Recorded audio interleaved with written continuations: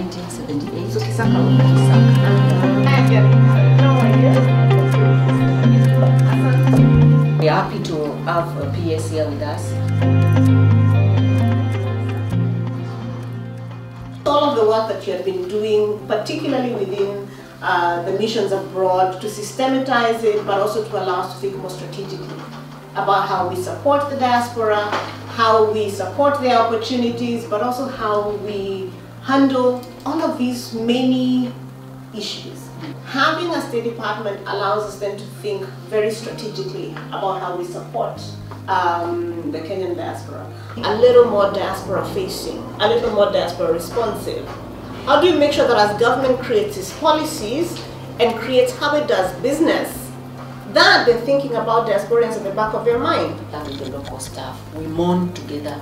We we are together. We move together. So those are the four technical divisions. So I'm, I'm very appreciative of your counseling department and moving forward. Thank you. When we are out out there, we are part of your your, your clients. Yeah. So we are happy to have that fallback, and uh, you learn a lot when you're in Canada here, and I will continuously up, up, update you as we get along. Yeah. I'm Canada. Not just Minister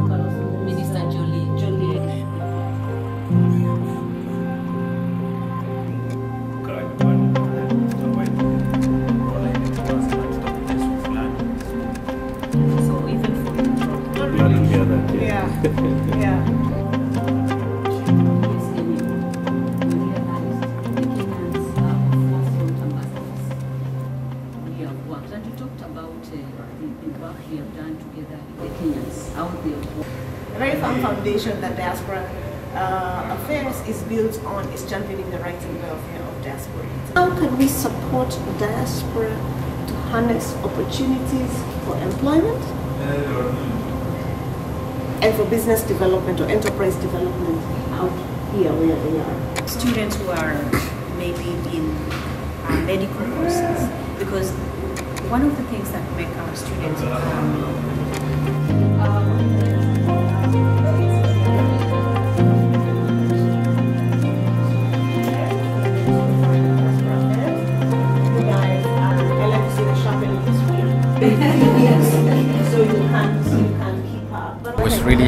good time for us as Kenyans here in New Brunswick to be able to meet with our office and be able to discuss uh, some of our concerns and issues and ideas as well and uh, talk about our heritage and how we can be able to be like a contact point for the, uh, for the Kenyans that are planning to come to New Brunswick. And we're looking uh, forward to be able to continue this engagement and this dialogue with uh, PS um, and to see how we can be able to be ambassadors for our country. I am a student at St. Thomas University taking human rights and political science.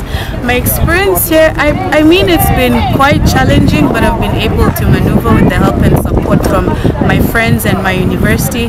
So please, mkuje mtutembelee sisi and join us in the journey so we can create a bigger Kenyan community here in New Brunswick. All right, kwa heri, tutaonana baadaye. Around how much we are speaking to diaspora and how much diaspora is speaking to us.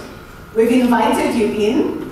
And they say we don't have to download that app. Think about is that we go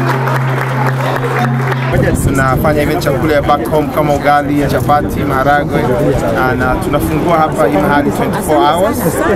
Wakenya wote ambao wakija kwa nchi ya Ontario, Canada lazima waje tuone hapa. Kwa majina naitwa Magati, naishi Toronto, nimekaa miaka tano Toronto. Tumekuja kuhudhuria kikao cha Olympias. Nimeshukuru sana, ni first